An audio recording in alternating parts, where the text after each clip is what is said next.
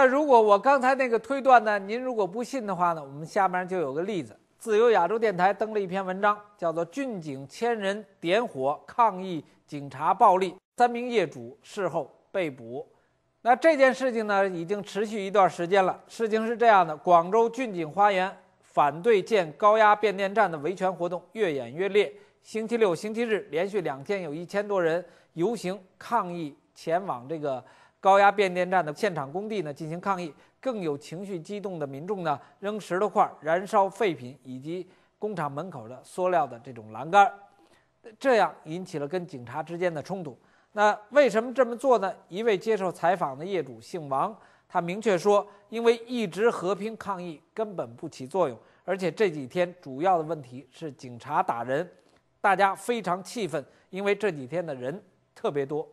而在冲突过程中呢，有三个业主被警察抓走，其中一个女业主呢，仅仅跟他理论了几句呢，就被四个警察给塞到车里了。结果周围的人大家就全都跟警察发生冲突，在这种冲突之下，警察迫不得已把那位女业主放出来了。针对这种局面，那记者呢打电话给当地的这个叫做天元派出所询问，结果警员拒绝电话采访，他说：“记者你要问什么就来这里问吧，我们不接受电话采访。”而作为当地的老百姓呢，他说，居民批评当局的强硬手段，呼吁尽快释放被捕的维权业主。姓王的先生说，国际人权组织能不能帮忙呼吁一下？他们现在很疯狂，乱抓人，老百姓非常气愤。他们这样抓人，只能激起老百姓更大的愤怒。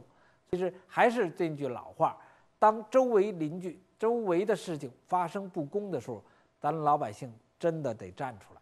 如果你不站出来，在今天，猫道鼠道，只要挣着钱就是好道的这种社会道德观念之下，指不定哪一天就轮在您脑袋上。我觉得这个这个花园，整个这些业主所面临的局面就是这么个局面。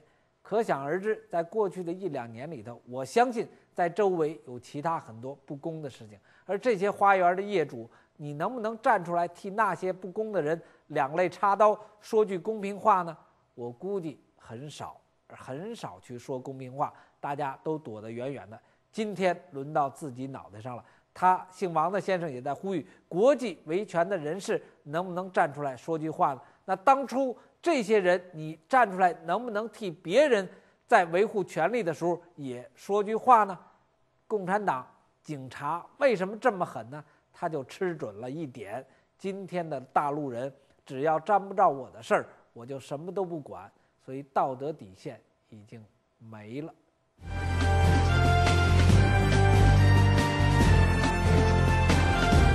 那其实老百姓呢心里有怨气，这种怨气的发泄呢，呃，有于不同的方式。结果这个正月十五的这天呢，放灯的时候呢，大家知道这个呃 CCTV 把自己给点了，结果大家欢天喜地，很多人拍巴掌。见过放花的，没见过这么放花的，没见过这么放烟火的。结果网上有了一首歌，就正月十五放花。但这个歌呢，讲的故事就是正月十五 CCTV 被点着之后，老百姓的心情。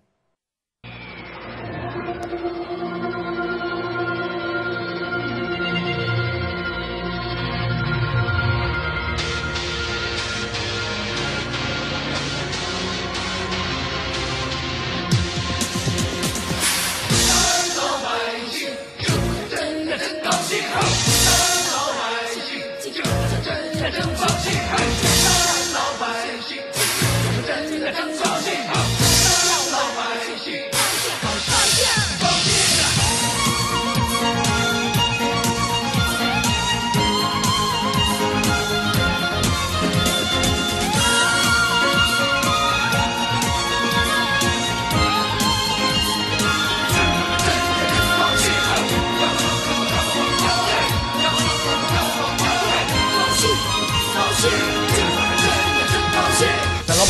晚上真是高兴，不是因为元宵节闹花灯，只为那大裤衩子突然着了火，要是骗子终于遭了报应。咱老百姓今儿晚上真呀真高兴，千家万户响的是一个声音，躲得个初一你躲不过十五，别管那谎话瞎话，要烧个干净。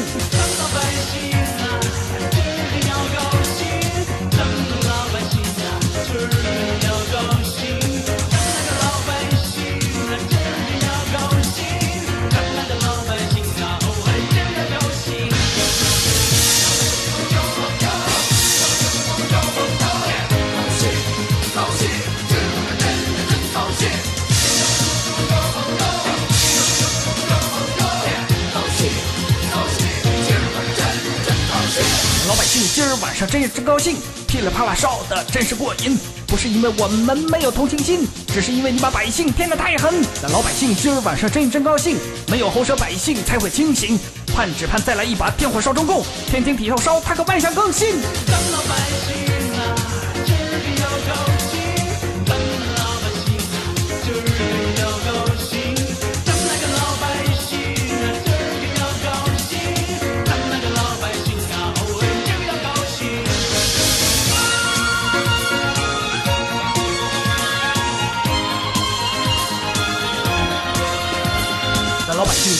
真是高兴，不是因为元宵节闹花灯，只为那大裤衩子突然着了火，样式骗子终于遭了报应。那老百姓今儿晚上真也真高兴，没有喉舌百姓才会清醒，盼只盼再来一把天火烧中共，天天体头烧，他个万象更新。